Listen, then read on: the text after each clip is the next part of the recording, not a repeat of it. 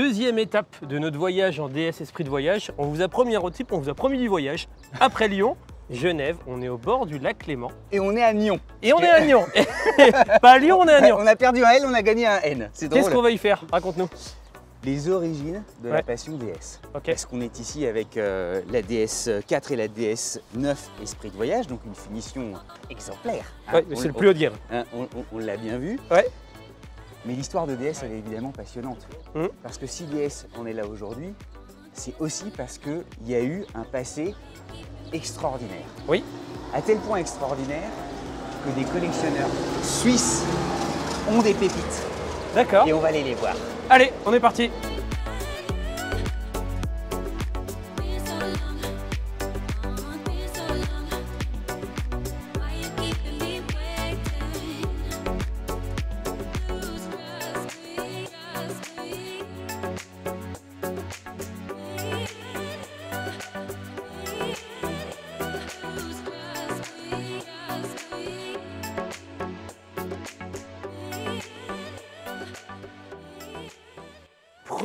Arrêt, et pas n'importe quel arrêt, de toute manière. Tu l'as vu.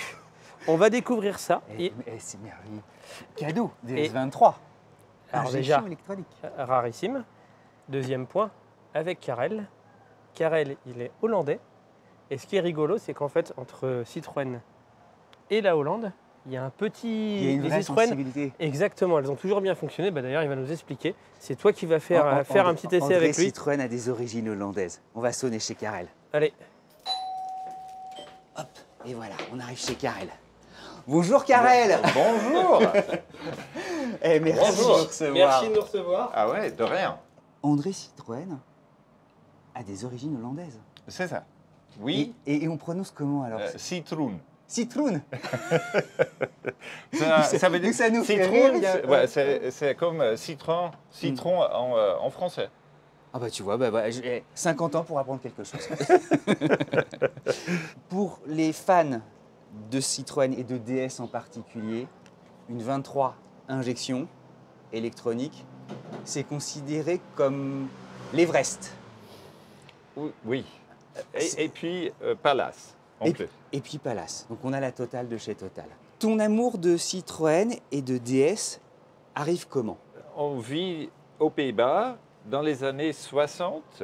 J'habite en, fait en face d'un garagiste Citroën. Et bon, à ce moment-là, à un certain moment, je me suis dit, OK, plus tard, j'aurai une Citroën DS. Il faut dire qu'aux Pays-Bas, les Citroëns sont vraiment très, très euh, populaires. Et puis dans les années 60, c'était euh, aussi une voiture de luxe, haut de gamme, surtout pour des gens comme architectes, euh, avocats, euh, des intellectuels. C'était vraiment un, un modèle, une icône de modernité qui euh, alliait et innovation technique avec une forme fantastique, je trouve.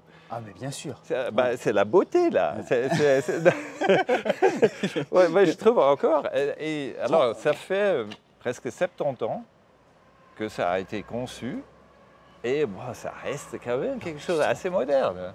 Alors, il y a cette combinaison d'une euh, forme euh, fantastique, que je trouve fantastique, avec euh, une technologie de pointe. Avec, alors, il y, a, il y a les deux côtés qui, euh, que j'aime. C'est pas seulement une, euh, quelque chose de beau, mais de intéressant de côté technique. Les phares qui éclairent dans les virages, les suspensions, les Oui, fameuses surtout, suspensions hydropneumatiques, ça on en a tellement parlé. Oui, mais c'est pas seulement ça. C'est après, euh, cette hydraulique a été utilisée pour changer les vitesses, pour la direction, pour tant de choses que, que, que fait que même aujourd'hui, c'est une voiture assez facile à conduire. Et- Mais celle-ci, elle est fabuleuse. Le toit noir, euh, la peinture grise, qui rappelle d'ailleurs, c'est marrant, Ouais. parce qu'il y a des similitudes. L'intérieur, évidemment, en cuir, les chromes, ouais. la finesse aussi, on le dit toujours, mais moi je trouve que ça, c'est Ouais, hein, dément ce Euh, ouais, Hein. euh, trompette, trombone. Euh, Ouais, il y a- y, y plein de noms, mais Ouais, corne. les Hein, cordes. les cordes. Les Mais, c'est magique en fait. Ah oui, hein. oui, oui. C'est vrai, il y a un côté cornet de glace aussi. C'est marrant. Ça, c'était euh, de modification de dernière minute. hein. Un, trait de génie de euh, Bertoni. Arrête. Parce que, euh, si, si, si, si. Parce que bah, il avait développé la, forme et puis il y avait une cassure ici. C'est- hein, on a le toit et ensuite, tac. euh, et puis pour cacher ça, il a. Il y a une sorte de, de, de- comme ça de truc. Il s'est dit faut. oh, Ouais, il faut quelque chose. Ah c'est merveilleux. Écoute, je sais pas non plus. Oh, tu nous montres un peu l'intérieur? Oui.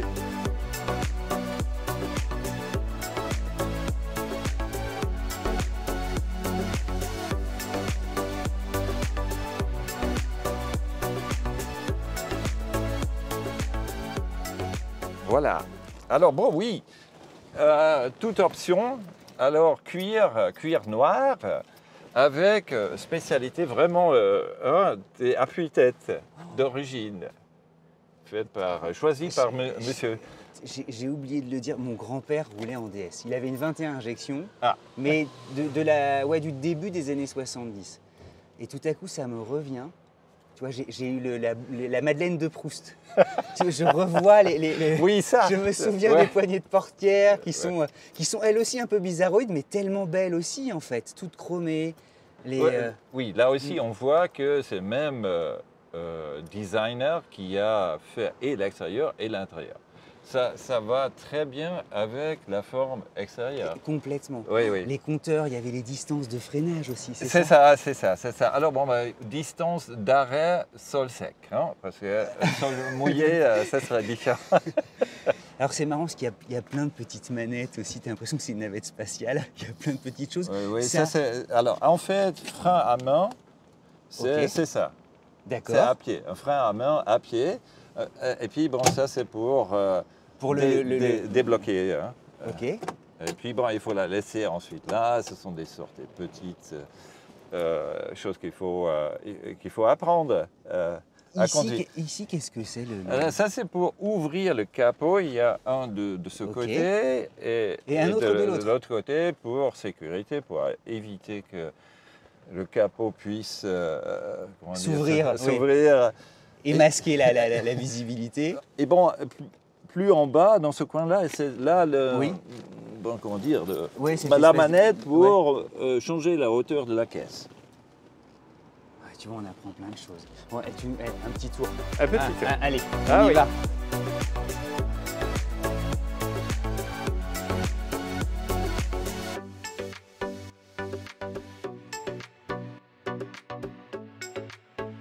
Y va. On y va. Ok. Eh, C'est toujours chouette de rentrer dans une voiture. Ah, oui. Alors bon, hop. C'est drôle la finesse des portières. Oui. Ah mais je savais pas que c'était aussi fin, j'avais complètement oublié. Oh, le petit autoradio aussi. Oui. Haut de gamme, hein Becker, euh, Grand Prix. Ah c'est... c'est- Oui. Et puis bon, alors, ah, peut-être bien à montrer. Alors, j'allume. hein. Et puis, il y a un petit bouton là que Ouais. je touche. Et, et puis le. Ah, attends, attends, ah oui Ah, ça change les radios. Et ça c'était d'origine auto- ou pas Oui, oui, oui, oui, oui, oui, oui. De- Auto search ou euh, quelque chose comme ça, oui. Waouh, eh ben dis donc. Oui. Allez, on y va, on démarre. Ah, le levier en haut et tout, c'est marrant comme Il y avait des ceintures Oui, oui. à enrouleur? Ah non, non, non, ça c'est- j'ai euh, changé parce que bon, côté pratique, les, les Ouais. anciens c'était un peu difficile. Ok? Ok, On y va on, on y va. Et le, confort, il est immédiat. ah, bah, ah oui, hein ah bah, Surtout sur ces routes euh, défoncées un peu. euh, c'est- à l'époque, euh, je crois, que le terme tapis volant, tu Oui. sais, est employé. et- on comprend, on comprend, ça prend Ouais. tout son sens, évidemment. Bon, alors j'ouvre le, Allez, le ouvre. toit. J'ouvre le toit ouvrant d'un Twingo. Mais tu plaisantes pas, je reconnais, je reconnais la petite manette. Il y, a- une chose aussi qui est très drôle, c'est que tu as six phares à l'avant. C'est vrai, c'est vrai. Alors il y a les quatre phares déjà de Citroën. Et en plus, euh, sous le pare-choc, j'ai deux phares euh, supplémentaires parce que le premier propriétaire en voulait, l'a installé euh, par Citroën, laissé installer par Citroën, parce que bah, à l'époque, il fallait avoir beaucoup de lumière, parce que les gens roulaient comme des, des fous. à euh, tombeau ouvert.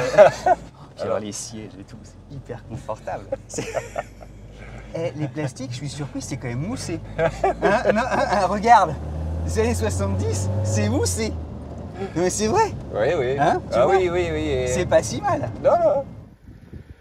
Karel, un énorme merci parce que tu nous as fait voyager dans le temps. C'est grâce à toi que la passion pour ce genre de véhicule continue en fait. Parce que si les gens ne le font pas, n'en achètent pas, ne cultivent pas l'âme de ces voitures, ben on n'y a plus accès. Et d'ailleurs, elle est disponible sur, les j'ai bien retenu, le Geneva Classic Car Club, où les gens peuvent la louer. Donc on espère que suite à ce reportage, tu auras des locations, tu pourras nous envoyer d'ailleurs des messages. Et nous, on va continuer, on va aller vers Lausanne, parce qu'on a une autre petite pépite, un autre petit bonbon à aller découvrir. Un morceau de passion, esprit de voyage, tu vois, on n'en a pas fini de finir avec un cabriolet. Cabriolet DS. Allez, on y On va. fonce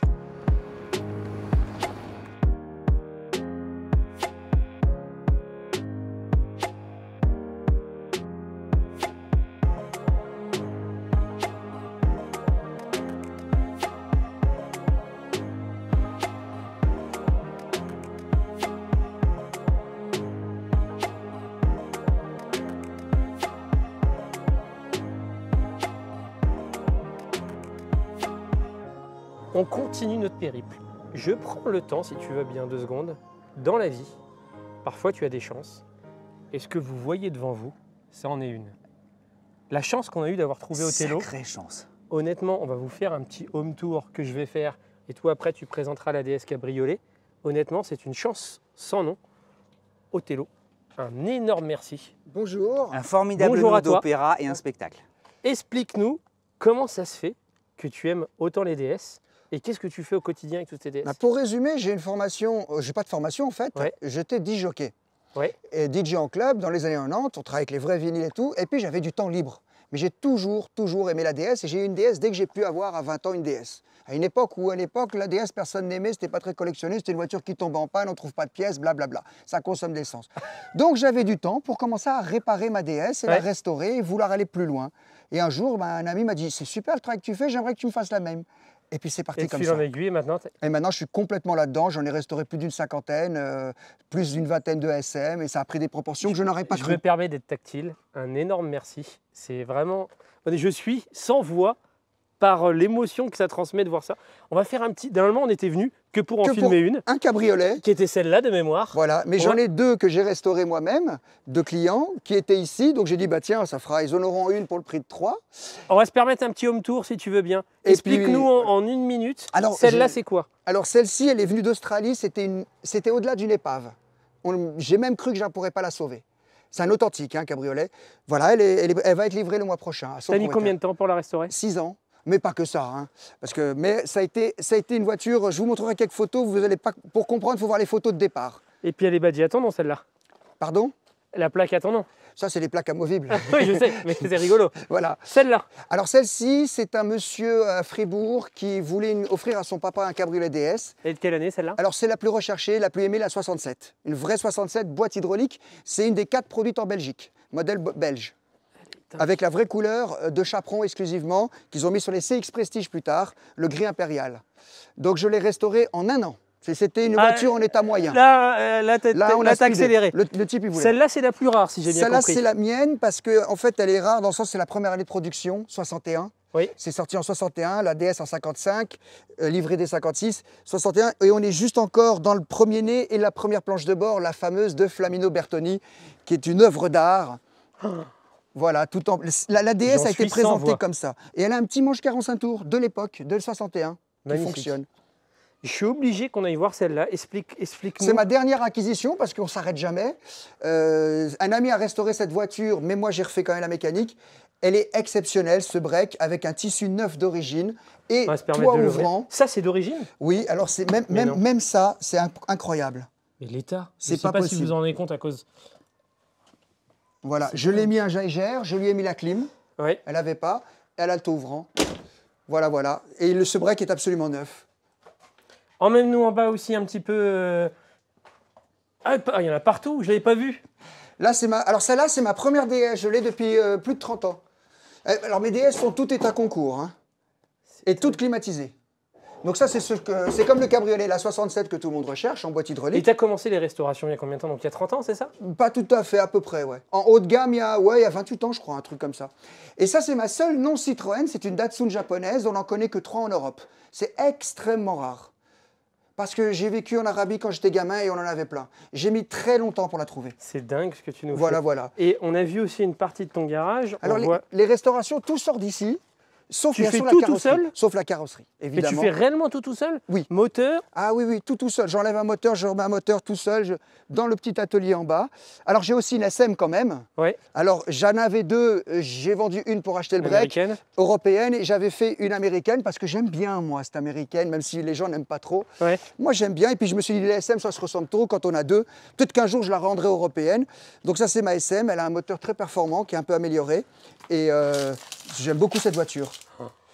Ça, c'est une insolence, parce que c'est à peu près une voiture moderne dans une robe ancienne. Parce qu'on a une puissance, un silence et une clim très performante. Là, on n'a pas besoin d'avoir une voiture tout à fait récente. On continue. Là, c'est des épaves de clients qui sont en cours de restauration, qui vont être Je ne restaurées. sais pas si vous le voyez là. Donc là, il y a tes deux passions, si j'ai bien compris. Technics, Voilà. c'est la meilleure marque de platine. De platine DJ. La, la Technics Et puis, MK2. euh, et- Et, ouais, mais il y a tout de l'autre côté, je te montrerai après. Il y a plusieurs. Euh, on continue ça, c'est à moi aussi, parce que contrairement aux, aux vrais professionnels, moi je roule beaucoup en voiture et j'en ai beaucoup à moi, qui, j'en ai quand même 6. Et elles sont toutes neuves. Donc elle est restaurée état concours, c'est une 23 injections, mais elle a donc tout. ça c'est le Graal. Oui. Moi qui ne suis pas un énorme connaisseur de Voilà, DS, c'est la haute pour être gamme. honnête, c'est la Ouais. dernière produite et c'est celle qui est... Mais il faut dire quelque chose, c'est pas rare. Une 23 injections, il y en a plein, boîte hydraulique Palace. Oui, les plus rares, c'est la première, la 61 que tu nous as montrée. Voilà. Le break, le break 67 est beaucoup plus rare que D'accord. celle-là. Par contre, celle-là, ce qui fait sa rareté, c'est le taux ouvrant d'époque Webasto électrique, vinyle, la climatisation, le chauffage arrière, bref, elle a tout, en plus d'être état concours. Et là, en plus, as- Alors, pour voir comment elle est sous le capot, c'est pas la peine de l'ouvrir.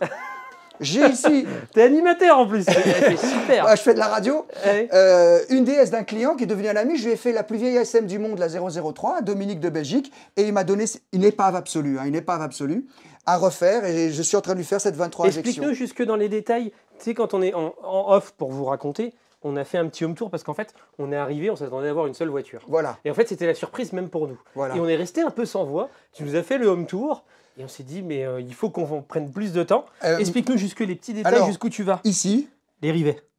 conforme. Ici, la vis est toujours 7M parce qu'elle est spécifique. Et si c'est zinguet jaune ou blanc ou noir, côté, par exemple ici, voilà, on voit ici c'est cuivre, ça c'est zinguet noir, ça c'est zinguet jaune. Tu Donc respectes? tout, si ça c'est brun. Et puis les tampons marquage, j'ai été le premier à les reproduire, du contrôle qualité Citroën. Ceux qui veulent refaire une. Donc, toi, c'est ton activité. C'est devenu mon activité, oui. Ceux qui veulent refaire euh, Une DS, ils peuvent te trouver où? Citrotello, c'est sur le net. Sur Instagram, sur Facebook? Les- euh, voilà, YouTube euh, et puis partout. Je suis ravi, mais Mais vraiment moi aussi. ravi Bon, on va passer là. une bonne après-midi. Oui, je vais t'amener à Cédric parce que c'est Cédric où tu vas lui faire découvrir ta DS Cabriolet, si j'ai bien retenu la date de 63, 61. 61. Ah oui, pardon, en plus c'est la va, plus on va sortir la 61, 61. voilà. Et euh, on aurait pu sortir n'importe laquelle des autres, mais on va rouler la 61. Et, euh, Cédric se cache. Cédric, tu peux venir. Je te passe le sceptre. À toi de profiter parce qu'honnêtement, on vit un moment. C'est quelque part la vie, c'est les rencontres, c'est de la chance. Très honnêtement, on ne savait pas vraiment où on venait. On s'attendait à en voir une. On n'avait pas forcément compris que tu faisais de la restauration, tu en avais plein. Et ça, on en a plein les yeux. C'est... bah, encore mieux. Puis c'est insoupçonné en fait. Tu es dans, t'es dans Ah, une maison là au se milieu. doute, oui, dans un T'es petit gentil, village. euh, gentil comme tout, tout le monde passe, te dit bonjour, salut, c'est improbable. Allez, Voilà. Cédric.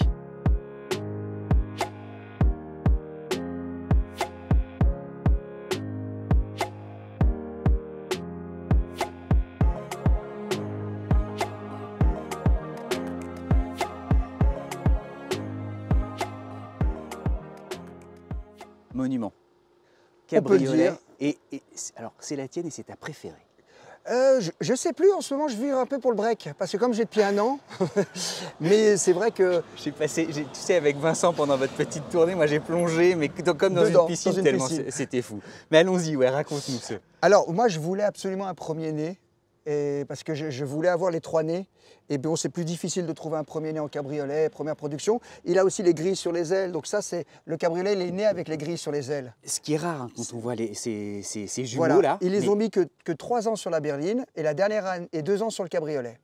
60, 61, 62 pour la berline. Cabriolet, qui est né en 61, il a 61, 62. Dès 63, alors ça tombe bien, on va vite regarder, on est exactement sur le modèle 63, donc la première année du deuxième né, et tu remarqueras que les phares sont boomerang, obus, on dit, Marshall, je trouve ça Oui. génial. Tu sais, ils oh, sont obus, et après, c'est les fameux cibiers qu'on retrouve sur les Porsche 911. Tu vois Mais pour être vraiment fidèle, comme ça, science. Mais on a vraiment l'authenticité, euh, et celui-là, rien du tout. Pur. Le premier-né est trop pur. D'ailleurs, je ne voulais pas lui mettre les, les boomerangs. Mais c'est- c'est c'est- c'est une- c'est d'une pureté. Je- tout à coup, tu vois, je ne savais pas que l'aile de la Oui. était, était légèrement bombée Et tu vois, ça, ça, ça réfléchit avec les phares la nuit, et il n'y en a pas sur les autres. C'est sur le premier-né seulement. Oh, c'est truffé, Et alors, c'est celle-là, l'œuvre d'art, c'est la planche de bord. Flaminio Bertoni, il paraîtrait, il paraîtrait qu'un mois avant le lancement au salon, il n'était pas prêt. Il s'est schlac, schlac, schlac, il a dessiné ça. Ils ont été embêtés pour trouver une société pour faire ça d'une pièce, mais ils y sont arrivés pour le salon, en, en octobre 55. Et, Et d'une c'est le- modernité qu'on retrouve Ah oui, ah aujourd'hui. oui, oui, oui, oui. Avec une grande boîte à gants. Alors là, on n'a plus la montre, elle est déjà électrique ici, mais en- de 55 à 60, elle était ici avec remontoir au cendrier.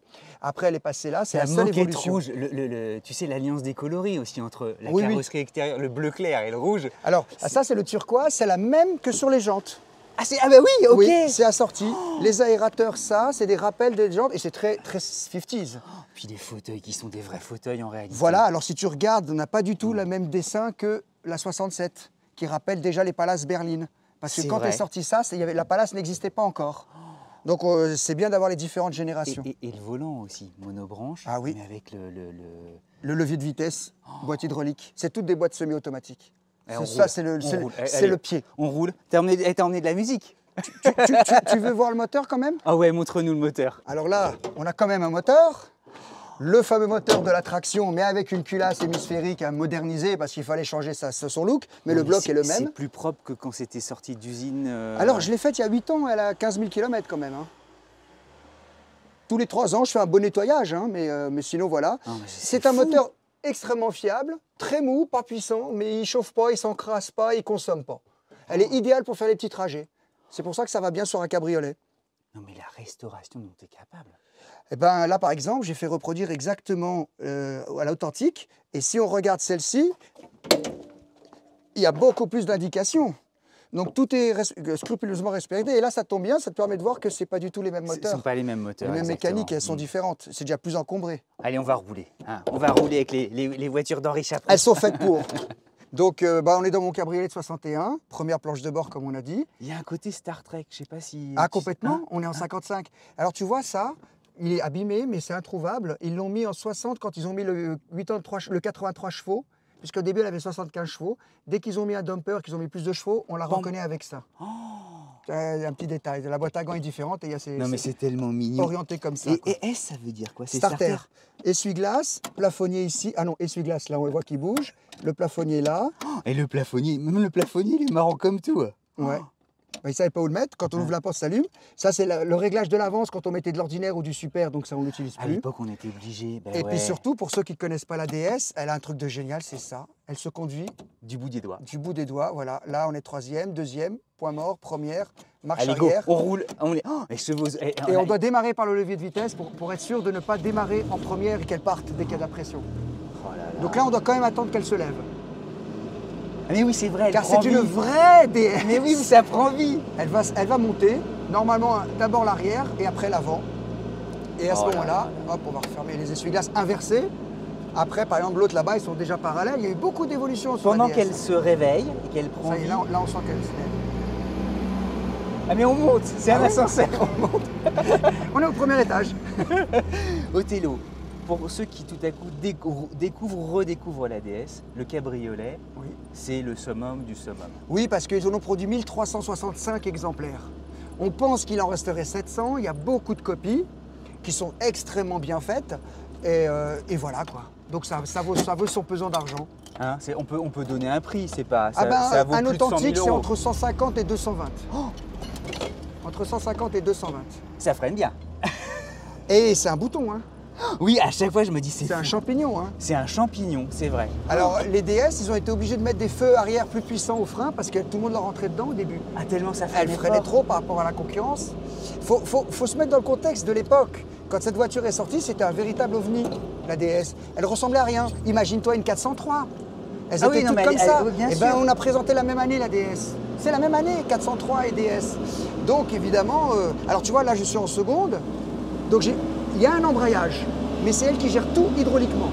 Donc là, j'arrête d'accélérer, je passe ma troisième, je réaccélère. Elle, elle a fait ce que habituellement fait ton pied gauche. Ton pied gauche, tu peux le mettre dans la boîte à gants. En fait, c'est- c'est presque semi-automatique. en C'est fait. réellement semi-automatique. Pour l'époque, c'est c'est un. Et ça marche 50 ans après, 60 ans après. Faut pas oublier ça. C'est que ça, ça requiert un cerveau commande, un centrifuge, un réembrayage, enfin des tas de choses reliées par de la tuyauterie hydraulique et c'est super fiable. Voilà, là je suis en quatrième. Je peux m'arrêter en quatrième ou en troisième, elle ne calera pas. C'est elle qui gère. Je, je savoure, mais chaque seconde. Ah puis en mieux c'est un vrai cabriolet, on n'a pas le toit qui nous Il arrive n'y a là. pas le toit. Mais oui, Voilà, mais oui. tu vois. Et là, c'est plat Et là, derrière. c'est tout, derrière. Donc on a une vue imprenable. Un sentiment de liberté. Et attends, c'est la première fois cabriolet sans ceinture. Oui, alors c'est légal, hein, parce que euh, les, ceintures sont obligatoires à partir de 72 à peu près. Oui, c'est ça, ouais. Donc, Et euh, celle-ci a été produite avant. Voilà. donc, euh, Alors là, on a un bruit très différent des DS normales, parce que c'est le vieux moteur. ouais, ça pétarade un Ouais, petit il peu. parce qu'elle a un pot inox aussi. Elle a Ah, un pot mis un inox pot qui inox. change de bruit. Et cette voiture, bah, j'ai 14 600 km depuis que je l'ai refaite de A à Z, et elle ne me cause jamais de problème. Tu roules avec très souvent qu'à l'été? Alors, celle-là, c'est celle qui va le moins loin. Et par contre, euh, la 23, le break, tout ça, là, je vais en France, je vais à Paris, je vais en Hollande, je vais à Rome. Oui, oui. Et Ah je- oui, tu l'utilises comme des voitures no- normales en fait. de avril à octobre. Bah écoute, j'adore le vinyle, t'as un manche 45 tours ici, hein, regarde, tu vois. Et qui T'as qui fonctionne. T'as chez là Voilà, dans le. voilà. là c'est Jermaine Stewart, Jermaine Jackson, et puis, euh, Ah, et, puis- et puis, j'ai- et aussi. puis j'ai la dernière technologie comme vous, des, des smartphones, tout ça. J'aime le mix des deux. Othello, ta mère t'avait dit si tu as le bac, tu auras ta DS. Voilà, Alors non seulement tu as eu le bac, mais tu as eu plusieurs DS alors. Beaucoup, beaucoup. Pas toutes payées par ma maman, mais euh, oui, en fait la DS, c'est que c'était la première voiture de mes parents. On était tout petits, cherchaient une voiture pour aller loin. Ils ont acheté une DS qui ça valait pas très cher dans les années début 70, tu vois. Une, vieille au liquide rouge, ça valait pas très cher. Et puis ils l'ont beaucoup utilisé, ils l'ont laissé à mon grand-père. Et là, je l'ai connu jusqu'en 81, 81, pardon. On est en Suisse, 81. Et euh, j'ai pleuré le jour où ils l'ont vendu. Et euh, donc c'est comme ça que ma mère m'a dit bah, finalement on en trouvera bien une.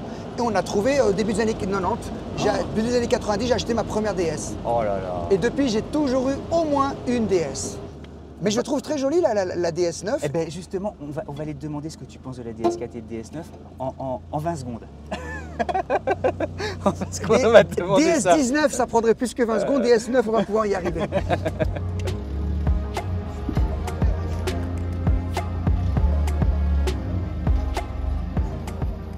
Il y a un truc que tu me disais tout à l'heure qui est rigolo, c'est que tu es fasciné par l'industrie française. Oui, Et tu m'as dit... automobile en tout cas, et oui. tu m'as dit, si, tu me, si je t'avais montré une Volkswagen, J'aurais dû simuler pour dire qu'elle est bien. Alors que celle-là, même si elle a des défauts, je ne les verrai pas. Alors, c'est comme ça, c'est ma nature, je ne changerai pas. Je suis pro Citroën DS, de toute façon. à bord. Alors regarde, parce, Parce, que... parce que je te fais une petite parenthèse, beaucoup, je connais beaucoup de collectionneurs de DS et d'SM, mais ils roulent en teutonne. Je trouve ça malheureux, parce qu'on a la chance inouïe que notre marque fétiche qui a fait ça, elle existe encore, et qu'elle fait des très bons produits. Donc pourquoi aller ailleurs quand on peut avoir la ligne complète? Voilà, c'est mon, état d'esprit. Justement, tu vois, le- le raffinement, le souci du détail qui existe sur la DS originale, tu le retrouves ici ou pas? Alors je vais regarder. Alors bah, moi j'ai une te- C4, toutes, les tout derniers modèles. hein, donc, Ouais, euh, ouais, donc, ouais, ouais. euh, je trouve. qui, qui est en fait la, la, la, la Alors, sœur quasi je vais te poser une question technique. Est-ce qu'elle a la même suspension que la IC4 Alors, pas Parce qu'ils ont, totalement. ils ont mis une suspension très confortable. Alors, on va, je vais voir, parce que c'est ce qui m'a vraiment convaincu sur la C4, Ouais. c'est son extrême confort. Elle est très confortable, la dernière C4. Ouais. Allez, monte à bord et dis-nous, tu vois, si tu retrouves justement le raffinement, la, la, la, la- la joie, les petites blagues. Alors, il va pas faire froid. Alors, déjà, hein, le il- design de siège, il est sympa. Hein, il va pas Bon. faire froid, évidemment. On va aller. Ce qui est bien, c'est. On, on va démarrer, on va mettre un peu tu- de ce qu'on trouvait de bien dans la DS Cabriolet, c'est cette sensation de- de- de- de- d'espace, de, liberté, qu'on retrouve moins dans les voitures modernes parce que le tableau de bord, il t'arrive aux genoux, etc. Et pourtant, pour rentrer dedans, je ne me suis pas plié en quatre. Ça, c'est bien. Ça, c'est super. Parce qu'il y a des voitures euh, modernes, je trouve qu'il faut un peu trop euh, contorsionner. Pour l'instant, je suis encore assez jeune, mais voilà. Donc euh, là, bah, le- voilà, moi, Apple CarPlay, je ne peux pas m'en passer. Ah oui, tu, bah ouais, Ah mais oui. tout le monde, une fois qu'on y a Ça, goûté, c'est génial. Je le mets dans les DS, parce qu'il y a les écrans qui existent. Ok. Oui, oui, mais en DS, je roule avec ça. Donc là, je reconnais les fonctions, c'est les mêmes positions que la C4. tu vois, tous les mêmes positions, donc je ne suis pas dépaysé. Euh, le, le compteur n'est pas le même, il est plus élaboré. En plus, celle-là, celle-là, c'est une quoi, une hybride? C'est une hybride, Donc, elle est- 225 chevaux PHEV. 225 chevaux et tout. Alors, ce que j'aime beaucoup, moi, c'est, tu vois, c'est ces, ces designs-là qui Ah. sont travaillés. Et là, là, pour moi, ça rappelle les chevrons, tu vois. Ça, automatiquement, je pense aux chevrons, même que c'est DS. Oui, oui, bah oui, oui, mais c'est bien de le dire. Et je pense que genre, on est vraiment bien assis. hein. Ah, on est super. on Franchement, dos au vent, ça c'est fabuleux, j'adore. Et il marche. Je me doute, j'arrive à le faire marcher dans ma vieille DS. Alors ici, il doit fonctionner. hein. Donc là, on a le Start Engine. Ah, mais ça, c'est identique à ma, à ma C4. hein. Ouais, bah évidemment, on reprend tout parfois des pièces hein. communes. Ouais, ouais. Mais tu, tu vois, le- la- cette, cette pièce ici, elle est très jolie aussi. Mais c'est une très bonne auto. Et c'est le mot de la fin. Et merci beaucoup. Et on est en nage, mais il fait une chaleur incroyable en Suisse. Tant mieux, ça ne durera pas. merci, merci encore Othello. Othello, on a vécu une forme d'opéra automobile et inoubliable. Ça, c'est ces moments-là. Honnêtement, nous couper la chic, ça nous arrive pas souvent. Je suis, Là- je suis là- autant ému que vous. de vous là, on est sans depuis voix. le temps que je vous regarde. Depuis quelques mois, je suis tombé, euh, grâce à l'interview euh, euh, pour la, la collection Bailly là, de Bayon, Arcurial, Bayon. avec- euh, ouais. Mathieu Lamour. Mathieu Lamour, voilà. Euh, J'ai trouvé vidéo. excellente vidéo. Je l'ai regardée deux fois. Et puis, c'est tout, sans jamais croire qu'un jour, vous serez chez moi ici en Suisse. Fabuleux. Et revenir. Oui, Hein on, va, on va refaire une vidéo. Parce que tu as tellement. On va refaire une vidéo. Pour ceux qui nous regardent, You are welcome. vous aurez une vidéo un peu plus longue. En tous les cas, pour nous, c'est la fin de notre deuxième épisode de notre trip. Il y aura un troisième qui va venir. L'art du voyage, DS, on a essayé des voitures esprit de voyage. J'espère qu'on a respecté l'esprit de voyage parce qu'on a fait quand même pas mal de bornes. On a vu pas mal de choses et c'est pas fini. Parce qu'on a vu un premier épisode avec la DS9, qu'on a présenté à Othello d'ailleurs. Deuxième épisode avec ses merveilles. Le troisième épisode, ça va être quoi? Ça va être l'essai de la DS4. Et il y a encore des petites surprises Et qui des vont venir. rencontres surprises. Ouais. Hein, La bise à mamie, le petit pouce bleu, on s'abonne. on s'abonne. Et Et à très vite. merci Et un merci Othello, grand merci, vraiment.